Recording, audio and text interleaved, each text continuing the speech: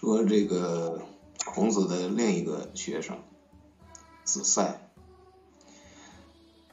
呃，你看很多都是孔子的学生啊，我们都提出来，七十二贤，流芳百世，古人最在乎的就是留名千古，他这个其实是真的非常重要，现在人不太懂了。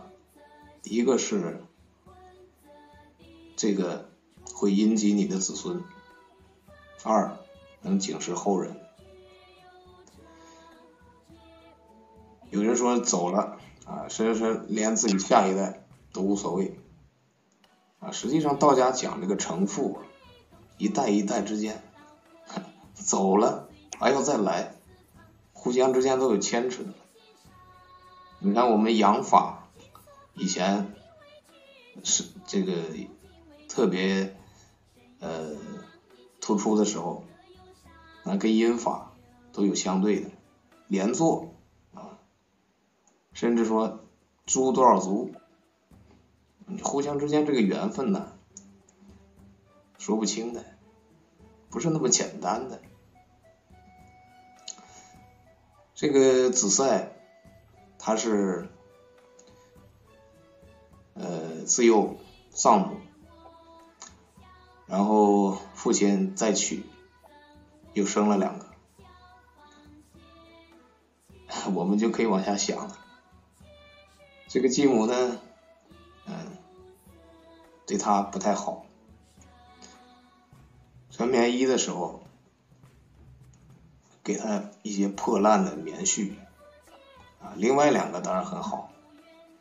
有一次外出驾车的时候，他父亲啊看到他就是精神不振啊，搞得这个缰绳都掉了。那寒冬啊，啊他实在是忍不住，然后他父亲也不问青红皂白，上去就打他。那事后呢，知道情况，打的这个这个衣服，衣服皮开肉绽啊，这个棉絮一看啊啊原来是这样，就要休了他的母亲，这个后母，那然后啊他就求情，说你要休了母亲。我一个人受冷，你如果休了母亲，那三个孩子都要受冷。然后他的母亲就突然惊醒，也从此啊，就故事到这儿就结束了。那我们自然可想而知，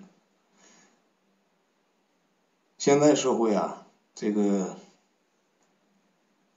后组建的家庭很多，家庭不稳定因素啊很多，很多破裂的家庭，这个继父继母啊，有的甚至两个都对孩子不好，那我们怎么办呢？这个子赛啊，啊孝的同时，他同样是很聪明啊，因为他。